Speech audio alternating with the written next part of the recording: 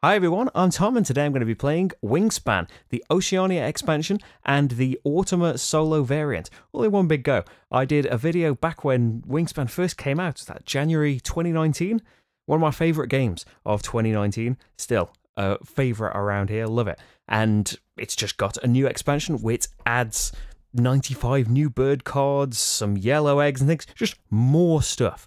If you liked Wingspan, here's more of it. I did a two player playthrough originally, which I'll link in the description if you haven't seen it and you really want to see how the multiplayer works, but I never did a video for the solo version, and Stonemaier Games always do fantastic variants. Well, Automa Factory does the solo variants for Stonemaier Games and they always do fantastic work. So I'm going to be showing you one that I really love from them as well. So what do I need to say before we can get started? There is a handheld and a static camera. You can switch between them in the description based on what you prefer. There is a Klingon subtitle channel. If you flick that on, then you can get notified of any mistakes I might have made. And there is a Patreon if you'd like to help me keep making these playthroughs. It's patreon.com forward slash slickerdrips. Thank you very much to everyone that supports me on there because hey, you made this possible, and uh, every little helps, and all of the things I'm supposed to say were not quite in that order. Let's get going then. Here's Marty to help out, never wants to be left out of a playthrough. Just likes going in the window and interrupting the videos these days. Anyway, on with the actual game. So we need to finish off a little bit of setup here. We get given two goal cards at the start of the game, and we need to pick one of those to go in with. And we get given five bird cards, one of each type of food, and we also get a nectar, one of the new, well, the new type of food in the Oceania expansion. This is kind of a wild card. It can count as any of these things for a lot of purposes, other than when powers specifically want a food type, you can't substitute it for nectar then. But for a lot of other things like paying the costs of birds, some want nectar specifically, but say this one wants a worm or a wheat, I could use a nectar instead. And there's a majority thing involved with spending nectar that we'll see. Anyway, so I have five cards and five food. I can keep as many of these cards as I want, but for every one I want to keep, I need to give up one of these food. It can be anything, nothing to do with what food they want to be put out with. It's just that's the cost of keeping these cards at the start of the game. So we can kind of look at how these mesh with each other. We have the forest data analyst, consecutive birds in the forest with ascending or descending wingspans. So the more consecutive birds I can get with ascending or descending wingspans, I'll get more points from uh, three for three birds up to eight for five consecutive birds. Site selection expert, columns with a matching pair or trio of nests. So two of the same nest in a column is one point, three of the same nest in a column is three points. So it would be tricky to pull off, I think, but you know, five columns, get loads of birds out, match all of the nests. That is 15 points right there. Uh, I think I'm going to go for site selection expert. I'm going to go for matching nests. So we look, we do have, say, the forest. We just have a couple here. We could do 30, then 73 out up here we've got 29 so we could do 29 then 30 then 45 then 73 it's just that's something we're going to have to look out for over the course of the game i feel i've just got an inkling that matching nests is going to be easier i'm going to go for the site selection expert so the birds that i have out here we have the australian magpie quite expensive to get out but at the end of the game, discard a bird from every bird in this row and column that has an egg on it, excluding this bird, and for each discarded egg, cache two wheat from the supply on this bird. So basically, eggs on birds at the end of the game are all worth a point each. Food is worth a point each as well. So this is basically gaining you a food on every bird in this row and column, the same as the Australian magpie. Earn an extra point on all of those birds, essentially what's that saying, as long as they've got an egg on them. Superb lyrebird uh, when activated, copy a brown power on a bird in the forest of the player to your right. Not great in a solo game. Now, uh, you can. There is a little exclusion. You, I think, when you're copying from the Automa, you can copy one from the tray instead. So, you know, it would be kind of a shifting ability. Uh, Horsfield's Bushlark, when activated, discard a wheat, and if you do, put up to two eggs on this bird. And I can only have two eggs on it, so that's not necessarily going to be something that can keep happening. Although you could spend them from there. That could be a nice early way of getting eggs there. I'm going to put that forward as a maybe. New Holland Honey Eater. Cheap to get out. It doesn't need nectar, so although it's only one resource, it is nice wild resource. When activated, gain a nectar from the bird feeder if there is one. The bird feeder is over here. Look at the marvelous bird feeder. Sorry, static cameras, you don't get the full effect seeing it from above, but it's a lovely 3D cardboard bird feeder. I quite like that as well. The Eastern Whip Bird, a bit more expensive, five points though. Uh, choose one other player, you both gain a wheat from the supply. So that basically in a solo game just means I gain a wheat from the supply. I quite like them. Now, these do have the same costs. I would want to get that out first. I would want to keep these resources spare. Maybe we'd spend these three resources to keep these three cards. I like the feel of them. And matching columns for nests, that would work out quite well, I think. Well, that would get me the wheat, and then I could use this to spend the wheat to get eggs on this bird and then start using the eggs for stuff. Ooh, I don't know yet. So these two just get discarded. They are out of the game. Now we can move on to my actual turn. So we've got the goal that I'm looking for. We've got the birds in my hand. One thing to keep in mind are the goals for the game. Uh, there are four new goal tiles in the Oceania expansion, which means eight different goals. They're all double sided. And so for round one, we want the most cubes on player bird. You get a cube on it every time you do it. So I want to play as many birds as possible. And the Automa is going to compete for all of these goals. First place gets you four points, second place just gets you one point. So, and in the future, we want birds with the beak pointing right and birds that uh, have worms, fish, and mice in their food costs. They're future rounds uh, considerations, but it all builds up to. I've, I've taken no birds with their beaks point right. I think to get started, have we got a worm out here? Yes. I am going to play a bird as my first action. We have these eight action cubes here. To perform an action, you pop a cube on the action. Now, you can, when you're playing a bird, you can use any two resources as another resource, so you're not entirely restricted by what you have.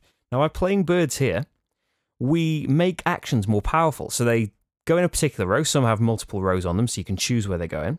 But in the forest here, that relates to the action gain food from the bird feeder. If I was to just do that action right now, I would get one food from the bird feeder, pick one of the dice, and get that food token.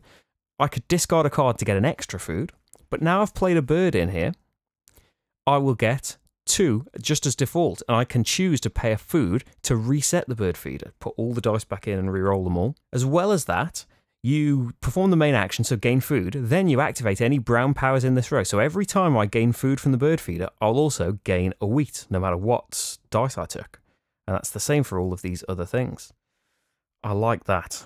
Okay, so what do I want to do now? Oh, I want to have the Automa have a turn, don't I?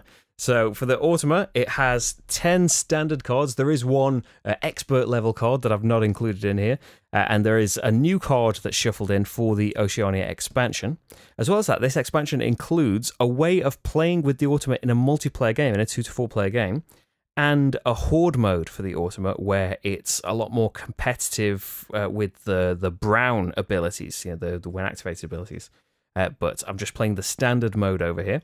Now it does get a goal card at the beginning. I've I've been a bit uh, kind of uh, lenient with the setup rules. It does normally say you know shuffle together the Oceania expansion with the base game cards. I'm just using the new birds just so I can show off as many as possible in this. Usually you would use some of the things from the base game as well. And you can mix it all together if you'd like to. If you have the European expansion too, shuffle it all together if you like. It's all uh, it's all balanced. So the rulebook says, and hey, we trust the rulebook.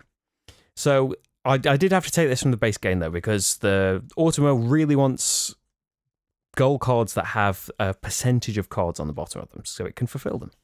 Uh, so we just draw a random Automa card, we pop it on this round tracker, and it's going to point. Oh, this is the new card that gets included with this expansion. It points to the current round and what it's going to do this round. So Automa is going to play a bird card.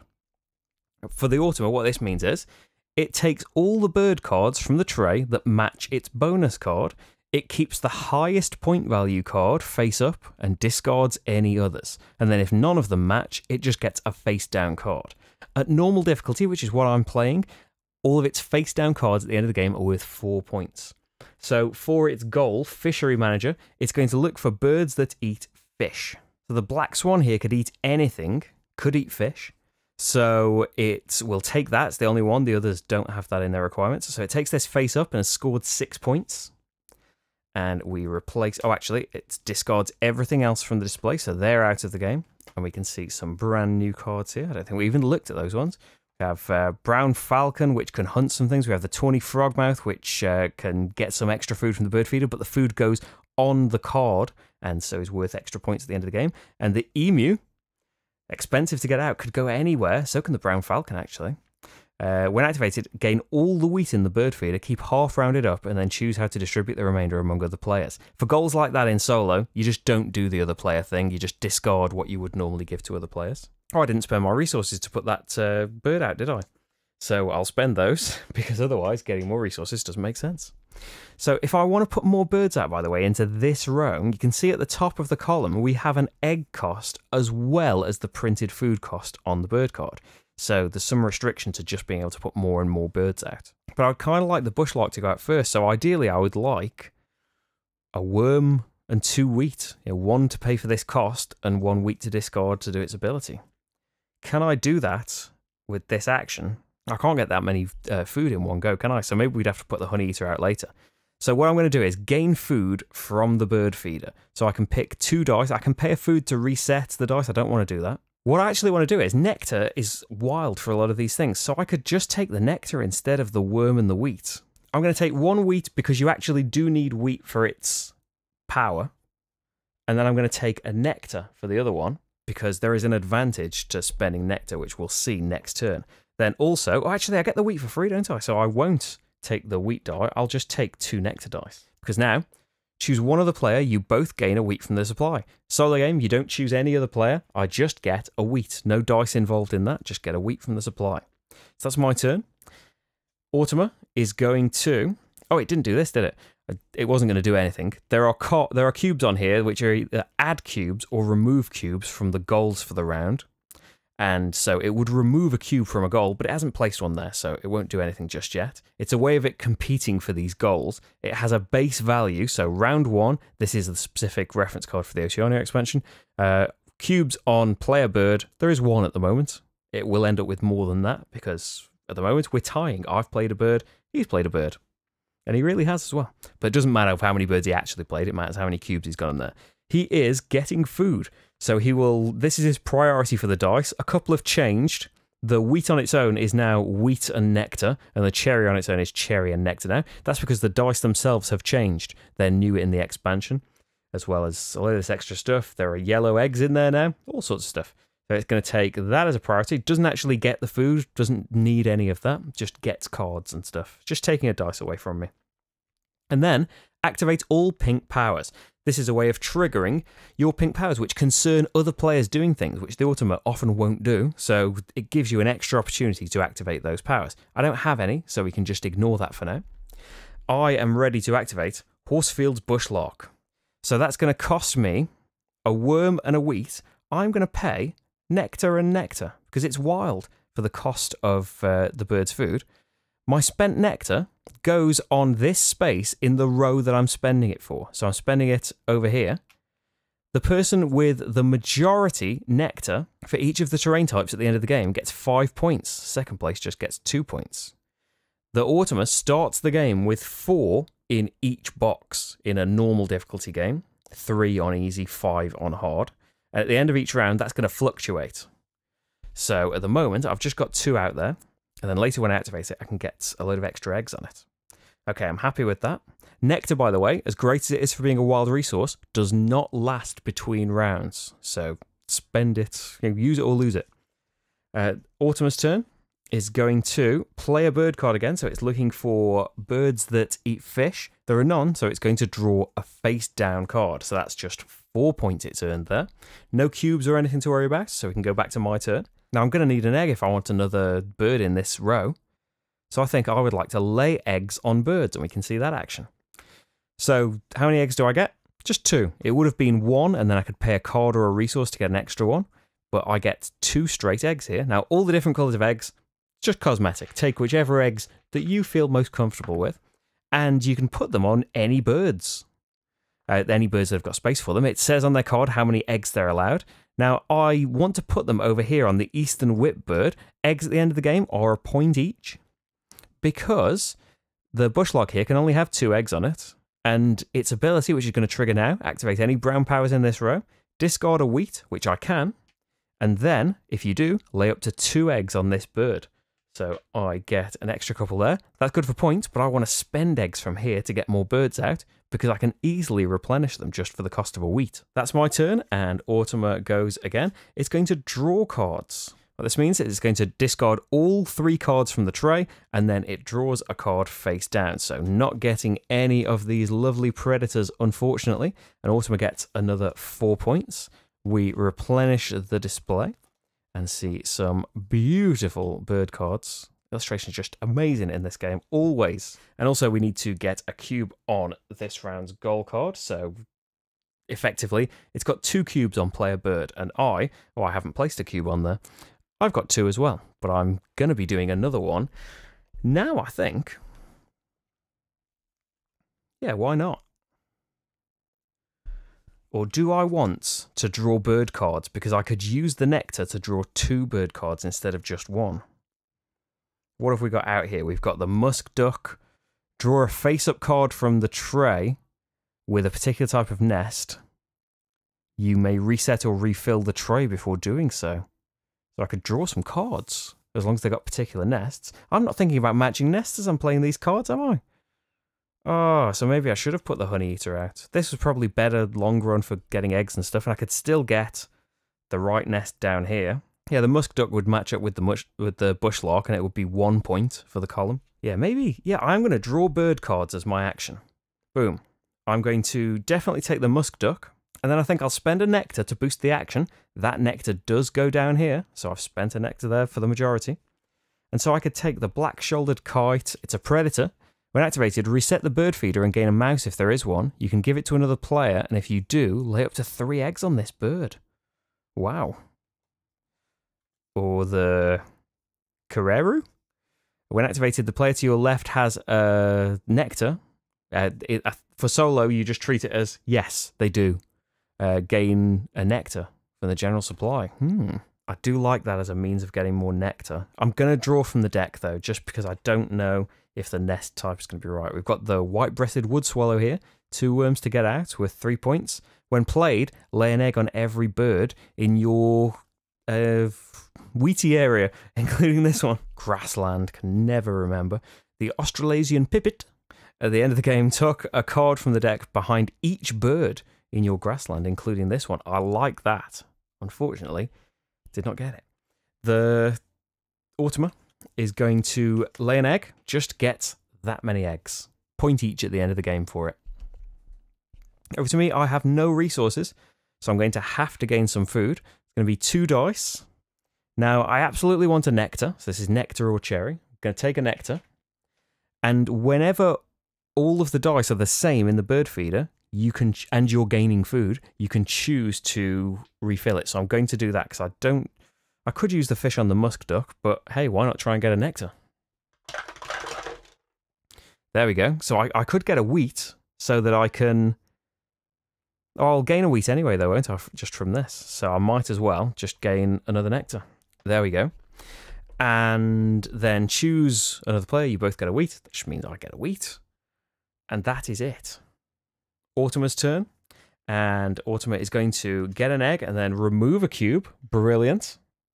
I'm happy anytime things get removed from Automa. Over to me, and what would I like to play now? Would I like to play things that help me get draw more cards at once? Let's just draw two cards and don't have to pay a nectar. The Wood Swallow I kind of want to hold on to now, just because it lays an egg on every bird in the row, so I want to hang on to that. I think the New Holland Honey Eater wouldn't be a bad call. Costs a nectar to play, so that goes out there and an egg because it's in the second row. I'm going to choose to take off here because it's so easy to get them back on there. And that's it for now. But when that gets activated, I'm going to gain more nectar. If there's any in the bird feeder, of course. Automa's turn, and it's going to gain some food. Mice are a priority, so that's what it's going to take. And it puts a cube back. And this card is going to be removed. As you might guess, it's going to be removed at the end of round one. Okay, back to me. We have two actions left. So what can I do? I could play the Musk Duck. I do want to play as many cards as possible. I have three to Automa's two at the moment, but he gets to play two more cards as well. I probably don't want to gain eggs yet. Just because I want an egg gone from there, don't I? So I could get the Musk Duck out and then do eggs. I, I definitely want to do something that spends the nectar because if I don't, it's gone at the end of the round. Yeah, I'm going to play the musk duck and even things out a little bit. Pop it over there so I can spend a food to wipe the display when I choose to draw bird cards, and I will just get two as standard. I'm going to pay nectar instead of any of those three things and pop that in my nectar majority box. And Automa is going to gain food. Mice is a priority. No. Fish. There we go. Fish are gone. And activate all pink powers. I don't have any. I feel confident about winning the goal now. So finally, what would I like to do? I could gain food, but in gaining food, I wouldn't take nectar just because it wouldn't last. It would be absolutely pointless. I could get a couple of cards because that's kind of that's eternal, isn't it? Maybe I should. Yes, I'm going to draw bird cards. I'm going to draw the Kererū because I would like to get more nectar. And then now the Pipit, that is basically if I fill up the grassland row, that's five extra points. Tuck a card in every bird in the grasslands. Tucked cards are a point each.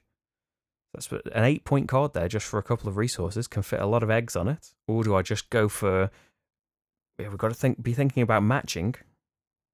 Because this this doesn't match. Again. It's the, the kite would match in the future, but that's a that's a future row there. Maybe I should just draw from the deck and see what we get. I get a wild, and it can go in forest. That could go up there. At the end of the game, lay an egg on each of your birds with a wingspan less than 30, including this one. So the whip bird is 30, unfortunately, but I have two already. That would be three that would get free eggs on them at the end. The Splendid Fairy Wren. What a nice name for a fairy wren. So we have the white faced heron there, Mark Watson. And it's time for another card. I massively encourage you to watch Taskmaster if you haven't already. Uh, so it's going to draw cards. So it's going to wipe the display. And oh, sorry, uh, the kite that we wanted. And then draw a face down card, four points. Refresh the display. We have Blyth's Hornbill, the Crested Pigeon, and the Golden Headed Cisticola. It also removes a cube from here, so I am absolutely winning this. And that was the last action, wasn't it? Okie doke. The end of the round. Use round end bird powers if you're playing with the European expansion. We are not. Discard any unused nectar. There is none. Score end of round goal. So this is why you keep your cubes on here because the goals are concerning how many cubes you've done now. So the Automa's base value is one. It's got no cubes on there. I have three, so I win first place. I take one of my cubes, pop it on first place. Automa goes into second place. We now have one fewer action each for every for the rest of the game. And that's going to continue. We will lose an action at the end of every round. Remove your action cubes, discard and replace all cards in the bird tray. I just did that. Sorry, guys, you're not going to get a chance to get found. We have the North Island Brown Kiwi, Horsfield's Bronze Cuckoo, and the Southern Cassowary. If round four is over, do game end stuff, but it's not just yet. At the end of the round, we draw Automa cards and place them up here like this. If there is a cube, we add a nectar to that section. If there is a crossed out cube, we remove a nectar from that section. So this means we're going to add a nectar to round one and remove one from I'm saying round one and round three. We're going, to add one to forest and we're going to remove one from wetlands. And then another card, which tells us nothing, nothing, nothing. Okay, so that's that's worked out okay, hasn't it? Uh, so now we need to remove the card that says remove after round one and then shuffle up all the Automa cards ready for the next round. We need to flip the round tracker, so it's going to be pointing at the round two ability, and also the goal reference, we need to flip to round two. It's going to show us the base values for round two. The goal is actually beak pointing right, and it starts with the base value of two. I have zero birds. I have this single solitary bird here, the splendid fairy wren, that has a right pointing beak. I am not going to do very well at that, I don't think. Okay, so I think I'm going to leave it there for part one. I'm going to go all the way through the game in part two, all the way to the end, and see if I beat Automa's score. If you would like to just know what I think about the new Oceania expansion and the Automa uh, game in general. I'm not sure I talked about it in the original Wingspan vi- video, but I will now, whether I did before or not. That's going to be linked in a similar way. Thank you very much for watching, though. I'll see you wherever you end up. Bye.